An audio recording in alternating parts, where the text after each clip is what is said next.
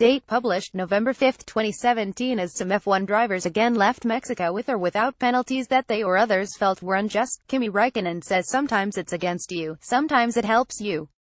Mercedes were unhappy last Saturday when Max Verstappen escaped punishment for impeding Valtteri Bottas during qualifying.